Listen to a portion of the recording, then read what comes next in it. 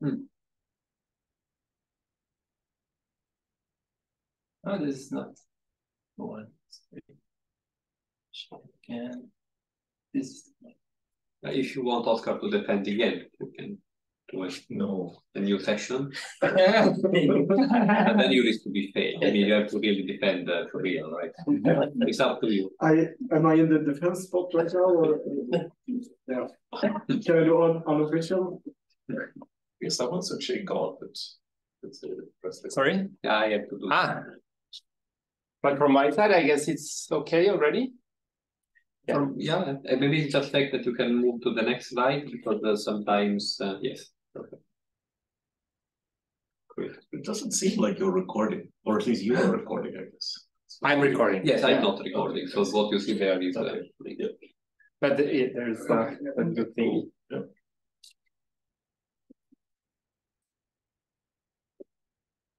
So shall I start or No, we wait two we minutes? wait uh, 15 past because people can. Ah, of course. Yes. But it's one. Sure.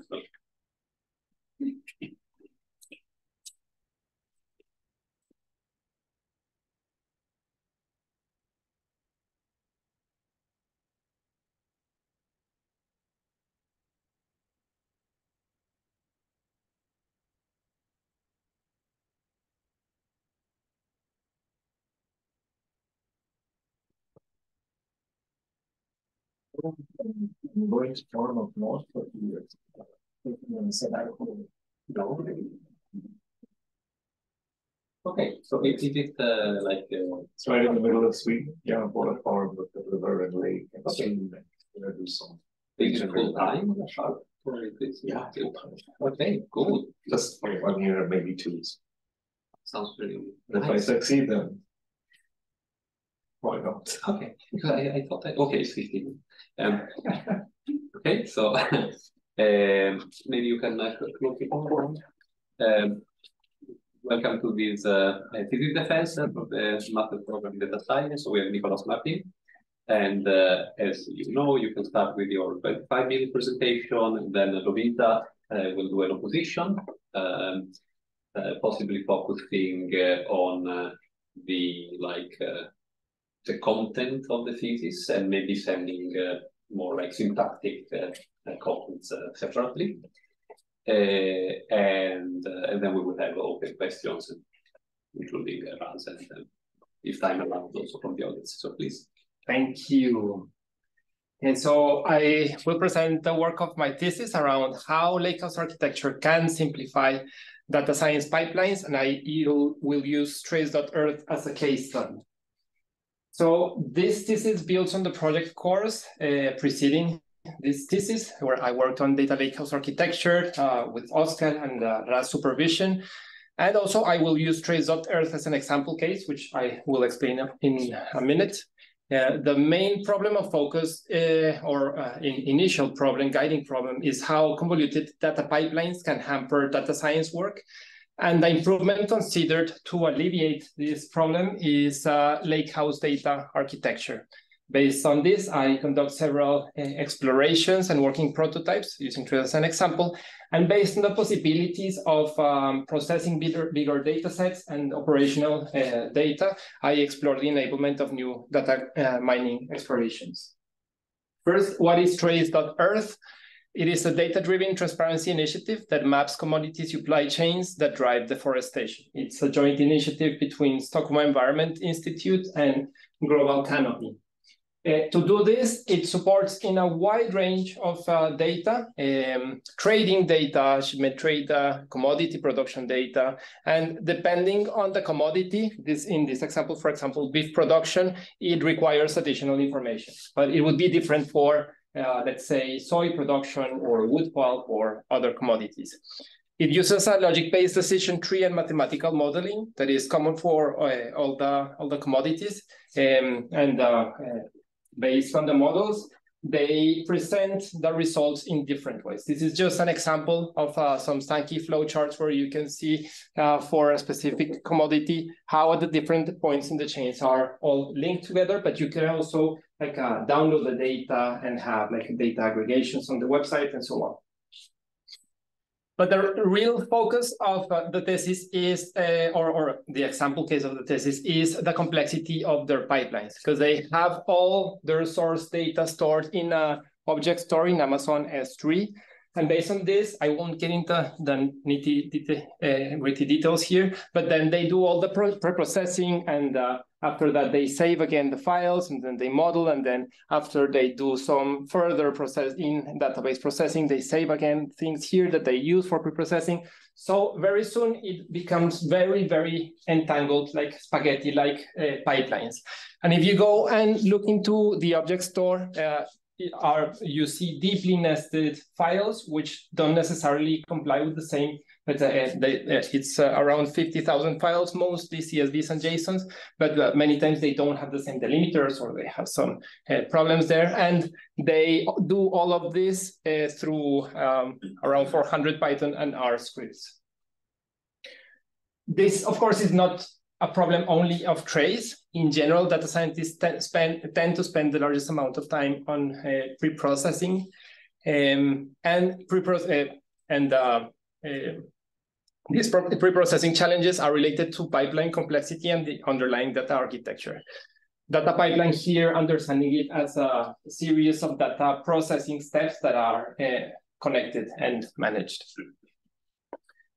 So uh, these um, uh, data pipelines the, and the way that they that they are structured and their simplicity and complexity is also related to the components that they that they use. In the case of Trase, but it is very common uh, um, component are data lakes, where basically you have all your information centrally stored. It could be unstructured, semi-structured, structured, um, but it has a common problem that is called like a data swamp that people just pour the information there, but it doesn't have like an inherent way of organizing metadata or version. Well, it does have versioning, but it's not, it doesn't have the facilities to organize data well. Of course, this is not a new problem. This is an old problem, and the most common solution in industry since the end of the 80s are data warehouses, where you do have a central uh, source of information, but it is structured information, and you expect the information here is organized, and that you connect to different data sources. And additional to that, that is non-volatile. The data shouldn't be replaced, should be accessible, shouldn't be deleted in general, should be time variant. You should be able to query previous versions around uh, uh, uh, time windows. And uh, many solutions now, they connect these two components. However, there are some problems. One of them is data staleness, because then you need to keep this replicated. Uh, so then there is that, some data staleness there. And also for machine learning and data science tasks, sometimes you need the access to the raw data. So then this makes things more complex. And it requires computing costs because you need to have this running all the time, uh, mostly, and usually vendor lock-in. So in the last couple of years, an emerging architecture has, uh, has, has, been uh, gaining a lot of traction. This called the lake house. And as you can imagine, it's a mix of the two concepts. Uh, but the, the main idea is that, that uh, you can have these warehouse capabilities, but directly on the data lake. You don't need a two-tier um, uh, structure. And uh, with this, you can allow, you can have schema on read, so you don't necessarily have to define previously the schema. So if you have a CSV, you can directly um, uh, like uh, get the schema from it. And it also allows for ACID transaction on stored tables. Uh, this is enabled by a transaction log on, on uh, each of the tables stored there. Usually tables are, most of the solutions are based on Parquet uh, storage, but also Avro, RC, and others are available. And uh, so having this transaction log, then you, you can have um, scalability, performance, and uh, well, most of all, ACID capabilities. So then if we have this, the idea is how can you back from all this complexity to something more streamlined uh, here under what's called a medallion architecture data pattern, saying that you, you should initially have a, a, set of tables for raw ingestion where you do uh, you can do schema on read here uh, it can come from batch, it can come from streaming, and uh, all, all the, you have all the history of the information here. And after doing some pre-processing, then you get to a silver tables, which are uh, filter, clean, and augmented. And after applying your models, you get to the gold tables that are usually the ones that uh, for the end users and uh, analytics. And all of this happens on the object storage. So here you have the tables, not in another component, but uh, right here. Uh, so then you could read and write directly to the S3 object store, making things easier. So then what was explored was um, how to use this in Trase. The solution that I used was uh, using Databricks, but there are other solutions, Apache Iceberg that uh, you mentioned, Apache Hudi, uh, two weeks ago, Microsoft uh, launched uh, Microsoft Fabric that is also based on, on Delta Tables open format. Um, but then like the idea is that in the future, Trase could have this kind of simple data flow. And they could have, in the case using Databricks, they could have collaborative notebooks where they can write on Python or uh, uh, R or Scala um, or SQL they can um, they have a query engine and business intelligence so that they can do some of their current um, uh, uh, analytical works here and maybe most importantly they can define job workflows I'll show in a minute how, how it looks. Uh, and they can uh, define also declaratively uh, pipelines so that they can also um, integrate, for example, data quality around uh, the whole process. Now, this sounds nice, but a big question, and not only for them, but in general, is how to integrate this into their workflow while keeping backwards compatible. And here, the main idea of uh, the implementation is that everything that they do their current system should be reflected on these delta tables. And that was a great part of the thesis work was to test this out. So, uh, basically, the idea is that everything that they have here on their CSVs and everything that they have here on the uh, databases should be reflected here, should be allowed to be synchronized. So I did some um, uh, more, most of them on PySpark and, and SQL to have this synchronization uh, initially manually, but they could be configured to to be um, like even like real time synchronized and then uh, that they could use the same tools that they are using, let's say uh, their IDEs, or they use Metabase, or they use Jupyter, uh, Jupyter Hub, and they could read directly from these tables. So then with time, they could deprecate this use, but that they know that they could read or here from here or from here, and this would contain always the same. And then they could also read from other open source clients and an additional thing that we did was to um, implement a data catalog so that they would have observability around everything that goes around here, here, here, and here. Uh, who is managing it? What is this information? Even even the um, uh, the dashboards um, can be reflected on this um, component. So to, to give a sense of how it looks with the solution. so here we have a, a three-level like catalog, database, tables, where the tables we can see their history, governance, uh, lineage, and so on. They can be read from a wide variety of uh, different places. You can define the uh, workflows or as a directed cyclical graphs where you uh, select if it's a script or um, if uh, what kind of computing you want for this, or uh, defining declaratively the, the, pipeline and, and saying, uh, well, if uh, this data doesn't comply to this data quality of the table our, or a relationship between the table, then or drop the record or stop the process or put the data in quarantine and so on. And here the example of the data catalog, you can see also uh, the information and data lineage to the column level, among others for this part, some of the conclusions, um, indeed, it can simplify data pipelines, uh, uh, including integrating warehouse features, and it can be backward compatible. It can rely mostly on open standards and have uh, like a widely reduced cost, at least on, on, a, on their case. However, something to note is that a transition to have backwards compatibility of course, it's challenging to implement, and this is additional to the technology. Uh, simplifying to this medallion data pattern, this is more, more mostly a way of organizing things. Uh, can be challenging to, to implement, and it requires uh, uh, is mostly like cultural challenges on how, how you adapt your workflows, and that's difficult. Some of the future work on uh, this part, um, exploring with other light lightweight lake house implementations. One that is gaining a lot of traction is Delta with using Arrow and uh, DuckDB for in-process uh, analytics without requiring a Spark engine, for example. Uh, working more around metadata management, some uh, things around semantic layer and data fabric that uh, uh is something that, that could help to organize their information that is one of the key problems. And uh, I would say mainly do a parallel with similar complex data pipeline settings so that the work that is done here is easier to um, make the parallel with other similar um, kind of work. So based on, on this, um, initially, the idea was to um, knowing that we can process better uh, data, operational data, then to see how to uh, integrate other type of uh, analysis um, that could enable, in this case, um, graph, data, graph data mining explorations. Uh, so this was done. And there is, uh, I'll explain at, at the end, there is like a kind of a missing link in the sense that here I focus mainly on the graph modeling and not so much the connection with the lakehouse, but I'll explain that at the end.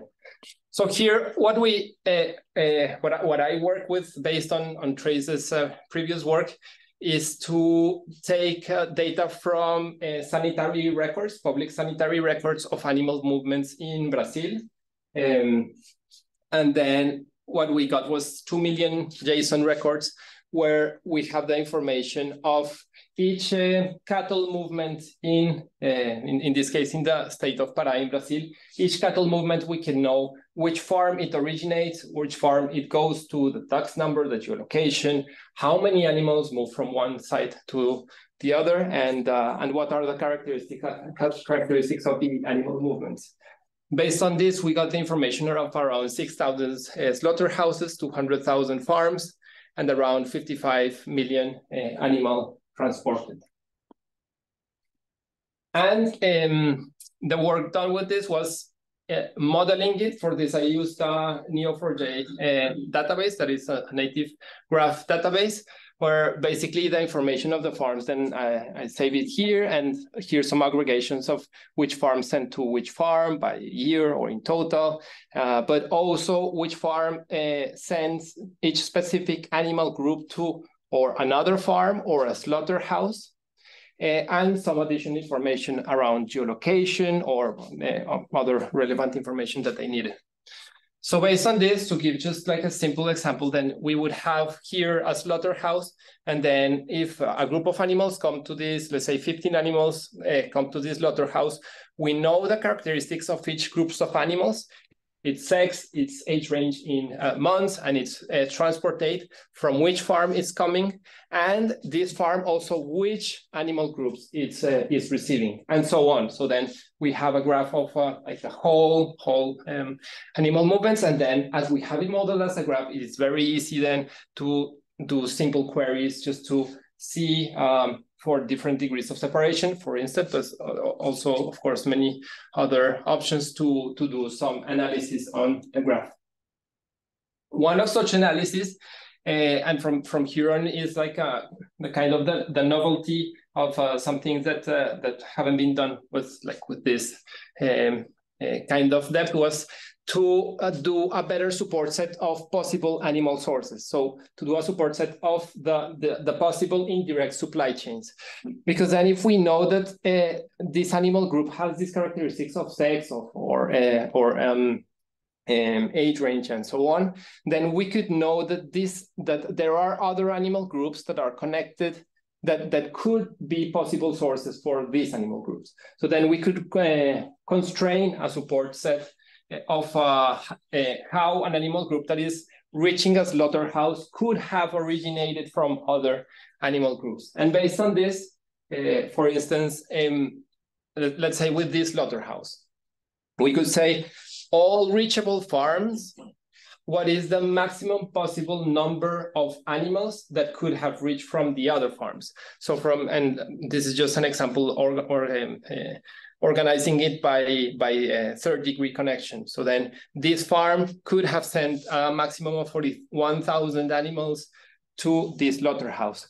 Not that it did send these animals, but that is the maximum. So that, that would give a sense of the exposure of a slaughterhouse to farms. Let's say if these farms come from, uh, and these farms and, and the animal movement come from uh, a region that has had deforestation at certain date, then we would know what would be the exposure of the slaughterhouse of, um, of uh, receiving this animal. Um, other analyses uh, are enabled, of course, if we have already the, the graph model based on the uh, on the modeling and the support set. Um, I won't go in into the detail of this, but so, some of the things that uh, that were tested was, uh, for example, a community detection is using a, a specific Louvain um, implementation that is a, a common um, algorithm for community detection. So to know which um, are the trading communities between slaughterhouses and farms. Um, this is relevant for many different reasons because it's like the kind of analysis that usually researchers do to see what are the well how the trading communities behave what are their impacts when there is policy change among others. Um, other uh, analyses were done using uh, centrality uh, using PageRank. I think i also did eigenvector centrality uh, um, so that we also could see like which are the most um, like central farms or central slaughterhouses. And another one um, was using shortest path to identify the most transited paths. So then here the idea is uh, like relatively simple. If we have an origin farm here, and then we have a destination farm or slaughterhouse, but that uh, has um, um, like an intermediate connection. So then let's say that this origin farm is sending 100 animals here, and then this farm is sending 50 animals here. So we would like to know, like not, of course, not only the number of possible animals, but what would be the most transited paths between a given farm and farm or farm and slaughterhouse.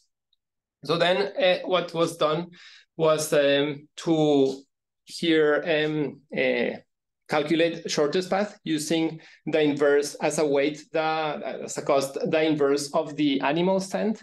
So then this would give us a, a, a ge geometric uh, network model. Um, and uh, we could like easily know that, for example, in, in, in this case, the the the path with the with um, uh, the shortest path would be this path, and and based on this, um, we could, for example, say, okay, so let's say that we have this farm, and we would like to know the shortest paths to the slaughterhouses that are uh, at most four hops away, we could have this information and of course then look at the de detailed information around uh, this kind of paths. So then with this, um, we could say, for instance, if we know that there is a region with deforestation uh, and uh, a deforestation event, then we could know which are the, the closest reachable uh, slaughterhouses in terms of the most transited paths or the other way around. If I am a slaughterhouse, and this is a, a, big issue for them because they only have visibility up to their first provider. If I'm a slaughterhouse, then I can see what are the most transited paths to some regions of interest and then continue my due diligence based on this. So, so conclusions based on this uh, graph exploration. One, and uh, the, the, immediate one is that we have an improved, an improved support set of possible indirect supply chain. So uh, like not only based on how many animals farms are sending each other, but constraining it uh, based on sex, age range, and uh, transport date. We explored some basic algorithmic applications, community detection, centrality, and most transited paths. And some of the future work, um, this is the missing link to use the lakehouse for orchestration of ingestion, preprocessing, as well as storage of results. Uh, because uh, this is something that uh, currently has currently blocked them from like exploring this kind of work. So um, yeah, so, so making this connection of uh, using the Lakehouse, extending to other supply chains, of course, because th this is a supply chain issue like in general, and supply chains in general could have this kind of modeling and integrating additional information that they have and exploring the potential of deriving likelihood measurements of the indirect sources of animals. Um, because we just did an exploration, but of course we could go deeper and not just say like, ah, this could be a possible exposure, exposure, sorry, but um, also um, deriving specific uh, uh, likelihood measurements, knowing, however, that we don't have uh, a ground truth. Like probably we have some, sometimes uh, there is a journalist investigations, but we don't have like a real ground truth uh, to, to work on. Um, these these two um, are currently on on a funding uh, are part of also a funding proposal that they are doing. So hopefully this uh, will continue um, to um, yeah be explored. And uh, well, finally, some thanks, um, of course, to Raaz for the opportunity to work on this and uh, patience uh, to to work with me and um, and uh, to Oscar, of course, we worked this before, and the people from from the, the Trase's team, Harry and Vivian. Um, um, the the code is here in this link, and uh, here are some of the references um, that I mentioned here, and very happy to hear your feedback and questions. Thanks. So you can uh, share and uh, Lovisa can start uh, your uh, position.